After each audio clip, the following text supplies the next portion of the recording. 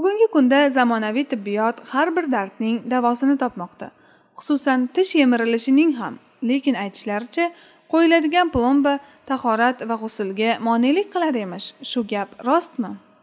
Ba'zi bir kishilar shu savolda kelgani kabi plomba va qoplamalar tishga tahorat paytida va g'usul paytida suv yetishini to'sadi. Shuning uchun bu ishlar harom. Mutlaqo mumkin emas degan gapni butun vujudlari bilan berilgan holda tarqatishmoqdalar. Hatto o'liklarni tilla tishlari qoplamalari bo'lsa ularni ham o'lgandan keyin bo'lsa ham ko'chirib tashlab keyin usul qildirish kerak degan gaplarni takror va takror ayttirmoqdalar. Va o'zlariga shogird tushgan kishilarni mabodo oldingi qo'ydirgan qoplama tishlari bo'lsa ularni ham oldirib o'sha tishlarni yemirilgan holida sarg'aygan holida yurgani afzal ekanligini ta'kidlashdan charchamasdan bardavom bo'lmoqdalar. Bularni birdan bir aytadigan gapi hujjatsiz dalilsiz aynan shu tahorat va g'usul paytida mazkur demak dardlik kasal tishga suv yetmay qolishi to'g'risidagi gaplar. Lekin islom shariati kishilarni dardini ziyoda qilish yoki uni muolaja qilishni man qilish uchun alloh taolo tarafidan nozil qilingan shariat emas ekanligini mazkur azizlarimiz unutib qo'yadilar. Qonun qoidalar bilan ish tutmaydilar. O'tgan ulamolarning bu masaladagi qilgan ishtihodlari yozgan kitoblari aytgan gaplariga murojaat qilmaydilar.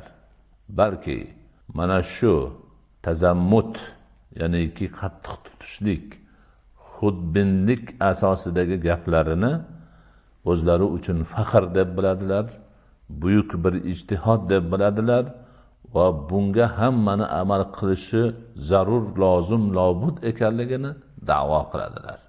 Bu kishilarni gapiga kirmasdan avvalgi buyuk mushtahidlarimizni gapini olib islom ruhidan kelib chiqib hadislardan sahobai kiromlarning amalidan o'rnak olib tishini davolatib sog'ligi uchun qayg'urib yaxshi bir holatda yurgan kishilarni malomat mazammat qiladilar. Mana shu ma'noda aytib o'tmoqchimiz kim? Tishlarni davolatish ularga plomba qo'ydirish va qoplama xususan tilla qoplama qo'ydirish ma'nolarini demak shariatimizda qadimdan muolajasi qilingan. Bunga fatvolar hadislar rivoyatlar bor. Hech qanday shak yo'q hech qanday shubha yo'q. Balki bu shubha bir ma'lum kichkina adatdagi savodlari yaxshi bo'lmagan mutaassib kishilar tomonidan tarqatilayotgan gap deyishdan boshqa ilojimiz yo'q. Tish yemirilganda uni davolatganda plomba qo'ydiriladimi qoplama qo'ydiriladimi ana shu narsalarni qo'ydirishni tahorat bilan ya'ni g'usul va tahorat qilgan holda qo'ydirsa ana u narsalar xuddi boshqa a'zolaridagi yara yoki shunga o'xshash e, narsalarni ustini bog'lab qo'yganlik hukmiga o'tadi. Buni jabira deyiladi shariatda va o'shanda g'usul tahorat paytida u yerga suv tegishi shart bo'lmay qoladi. O'sha qoplangan narsani ustiga tekkan suv uni ham poklanishiga olib keladigan holat bo'ladi. Ana shu ma'noni demak yaxshi tushunishimiz kerak. Endi kishilar o'rtasida tish yemirilishini davolashi unga plomba yoki qoplama qo'yish haqida gap tarqatib bularni qilish mumkin emas. Bularni qilgandan keyin tahorat va g'usullikka monelik paydo bo'ladi. Tahorat va g'usul o'z o'rnida o'tmaydi deb gapirayotgan kishilardan payg'ambarimiz alayhissalotu vassalom sahobalar buyuk mushtahidlardan dalil hujjat keltirishlarini so'raganimiz holida o'zimiz mana shu narsalarni ya'niki tishni qoplatish uni davolash ma'nosidagi biror narsalarni qo'ydirish mumkin ekanligiga aynan hadislardan rivoyatlardan ochiq oydin dalillarni keltiramiz. Yana aytib qo'yishimiz lozimki bu masalada hamma fuqarolar ittifoq qilgan va barcha kitoblarda bu ishni joizligi ya'ni tishga qoplama qo'yish davolatish uchun qilinish qilinadigan ishlar mumkin shariat ruxsat bergan narsa ekanligini aytilgan. Mumkin emas degan birorta kitobni hozircha ko'rganimiz yo'q. Ana shu tishga qoplama qo'yish plomba qo'yish joizligiga asosiy demak dalil bo'ladigan hadisi sharifni buyuk muhaddis ulamolarimiz islom olamida oltita sahih hadis kitobi deb tan olingan olti kitobning uchtasida rivoyatlar kelgan. Ana shu rivoyatlarni buyuk imomlarimizdan abu dovud as sijistoniy va imomi shuayb an nasaiy va imomi abu iso termiziylar o'z kitoblarida keltirganlar. Bu hadisi sharif imomi abu dovudning sunanlarini ikkinchi juzi bir yuz qirq sakkizinchi betida bor va imomi nasaiyning sunanlarini sahihlarini ikki yuz sakson beshinchi sahifasida bor va imomi termiziyni ham sunan kitoblarining birinchi juz ikki yuz to'qqizinchi sahifalarida bor. Bunda hadis quyidagi shaklda rivoyat qilinadi. An abdurahmon ibn torfa أن جده أرجفة بن أسعد رضي الله تعالى عنه قطع أنفه يوم الكلاب فاتخذ أنفا من ورق فأنتنى عليه فأمره النبي صلى الله عليه وسلم وصحبه فاتخذ أنفا من ذهب. عبد الرحمن ibn torfa degan kishidan rivoyat qilinadi u kishining bobolari arjafa ibn asad roziyallohu anhuning kilob urushi kuni burunlari kesildi. Bas u kishi o'zlariga kumushdan burun qilib oldilar. Lekin u kor qilmasdan jarohat sasib ketdi. Bas nabiy sollallohu alayhi vasallam u kishiga tillodan burun qilib olishni amr qildilar va u kishi tillodan burun qilib oldilar. Ana arjabat ibn asad roziyallohu anhuning mana shu holatlari boshqa taraflarga qiyos qilinadi. U kishini burnilari kesilganda burunni demak teshigini ochib turish uchun u yerdan nafas olishni osonlashtirish uchun kumushdan qilingan demak burun foyda bermagan jarohat bitmagan yiring bog'lab sasib ketavergan. Ana shundan keyin payg'ambar alayhissalotu vassalom tillodan mana shu narsani qilishni buyurganlar tillo insonning badaniga to'g'ri bir demak ta'sir qiladigan balki shifobaxsh xususiyati bo'lgan ekan. Payg'ambar alayhissalotu vassalomga alloh o'zi bildirgan buni. Ana o'sha arjafa roziyallohu anhu tillo burun qo'yganlaridan keyin yaralari bitib yaxshi holga kelgan ekanlar. Ana shu tillo bilan tahorat va g'usullarni qilib yurganliklari bor. Mana shu demak holat kishini darddan aritish dardiga malham bo'lish bizning shariatimizning asosiy maqsadlaridan bittasi. Ana tishi yemirilgan odam ham og'ir bir dardga uchragan bo'ladi. Tishining o'zi og'rib turishi bilan birga yemirilgan tish orqali ovqatni yaxshi chaynay olmaganligi oqibatida ovqatni hazm bo'lishi qiyinlashadi qorin va boshqa kasalliklarni kelib chiqishiga ham sabab bo'ladi. Shuning uchun hoyi havas chiroyli ko'rinish maqsadida emas dardiga malham topish maqsadida tishini qaratish unga mana shunaqa qoplamalar qo'yishga ruxsat berilgan ana endi mana shu ruxsatga abjafar roziyallohu anhudan boshqa kishilar ham amal qilganliklari bor. Misol uchun katta muhaddislardan bir qancha hadis kitoblarini demak yozib hadislarni to'plab nom taratgan imomi tabaroniy roziyallohu anhu va hanafiy mazhabimizni buyuk olimlaridan imomi zaylaiy nomli zot o'z kitoblarida keltirgan ekan. Imomi tabaroniyning uchta kitoblari bor.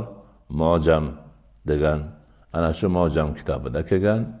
Va imomi zaylaiyni mashhur imomi burhoniddin marg'iloniyni hidoya kitobiga dagi dalillarni yig'ib to'rt juftlik katta kitob qilganlar. U kitobni nomi nasbur roya litahriji ahadisi hidoya deb ataladi demak imomi tabaroniy va imomi zaylaiy o'zlarini nasibi roya kitoblarini ikkinchi juz ikki yuz sakson yettinchi betida keltiradilarki buyuk sahobiy hazrati umar odil ibn xattob roziyallohu anhu ham tillodan tish qoplatgan ekanlar hazrati umar roziyallohu anhuning bu qilgan ishlari ham dalil bo'ladi. Chunki bu kishidek ulug' inson hozirgi tishni davolatib bo'lmaydi degan savodlari yo'q odamlar shaklidagi bo'lmaydi. Balki payg'ambar alayhissalotu vassalomning eng yaqin kishilaridan musulmonlarning eng buyuk mushtahidlaridan bo'lgan bu shaxs islomning maqsadlarini shariatni hukmlarini yaxshi bilganliklaridan o'zlariga tishlarini tilladan qoplatishga demak ravo ko'rganlar buni qilganlar. Shuningdek ikkinchi bir ulug' sahobiy to'rt xalifalardan uchinchisi bo'lmish usmon ibn affon roziyallohu anhu ham o'zlariga tilla tish qoplatgan ekanlar. Buni buyuk imomlarimizdan imomi ahmad ibn hambal rahmatullohi alayh o'zlarining buyuk kitoblari musnatda abdulloh ibn ahmaddan rivoyat qilgan ekanlar. Bu narsa yuqorida nomlari zikr qilingan hanafiy olim imomi zaylaiyni nasbir roya kitobida ham takror kelgan ekan. Ya'niki bu kitobda ham hazrati usmon ibn affon roziyallohu anhuning tillodan tish qo'yganlari ya'niki tillo tishlarini ustiga tillo qoplatganliklari rivoyat qilingan ekan. Hazrati usmondek ulug' zot zunnurayn laqabini olgan ulug' zot musulmonlarning uchinchi xalifasi va payg'ambar alayhissalotu vassalomdan boshlab hisoblaydigan bo'lsak to'rtinchi butun tarix islom tarixining buyuk zoti bo'lgan hazrati usmon tilla qoplatib tishlariga qo'yishlarini o'zi katta bir dalil hisoblanadi va mazkur odamlarni boshini tashvishga tiqayotgan savodsiz kishilarga qattiq bir raddiya bo'ladi. Shuningdek buyuk sahobiylardan payg'ambarimiz alayhissalotu vassalomning xizmatlarida o'n yil kechayu kunduz qoyim turib u zotning har bir harakatlari har bir so'zlari har bir qilgan ishlarini sinchlovlik bilan o'rganib keyin butun islom olamiga o'zlari o'rgangan ko'rgan eshitgan narsalarni rivoyat qilgan buyuk sahobiylardan anas ibn molik roziyallohu taolo anhu ham tillo tish qo'ydirgan ekanlar. Ya'ni tishlarining ustiga tillo qoplama qildirgan ekanlar. Buni imomi tabariy va imomi zaylai o'zlarining nasbir roya kitoblarida rivoyat qilib hujjat dalil qilib keltirgan ekanlar. Shuningdek yana ulug' sahobalardan abdulloh ibn abdulloh ibn ubay ibn salul roziyallohu anhu ham tilla tish qo'ydirganliklari rivoyatlarda sobit bo'lgan. Buni imomi bazzor o'zlarining kitoblarida rivoyat qilingan. Shuningdek majmaa fiqhi sunan val asor degan kitobni uch yuz o'ttiz sakkizinchi sahifasida kelgan. Mana bu narsalarning hammasi demak tilladan tish qoplatish tishga plomba qo'ydirish va boshqa narsalar hammasi shariatda demak sobit bo'lgan ulug' sahobiylar qilgan payg'ambarimiz alayhissalotu vassalom buyruq berib qildirgan narsa ekanligini ochiq oydin dalili hujjatidir. Mana shu narsalar bo'lib turib shu narsalar sobit bo'lgandan keyin ham buyuk fuqarolarimiz ruxsat berib kitoblariga yozib qo'ygandan keyin ham savodi yo'q. Birorta kitob o'qishni oxiriga yetkazolmagan odamlar o'z uz o'zlaridan bo'lmagan bo'lmagan gaplarni tarqatib mo'min musulmonlarning boshlarini g'avg'oga tiqib o'zlarini shubhaga qo'yishlari mutlaqo noto'g'ri bo'ladi. Demak bu haqdagi hujjatlarni dalillarni eshitdik. Endi ana shu tish qo'ydirish ma'nosida ko'ngil to'q bo'lishi kerak. Faqat plomba va qoplamalarni qo'ydirish paytida qo'ydirayotgan kishi tahoratli bo'lishi zarur lozim lobud ekanligini unutmasligimiz kerak. Bunga amal qilishimiz lozim qilishimiz lozim qilishimiz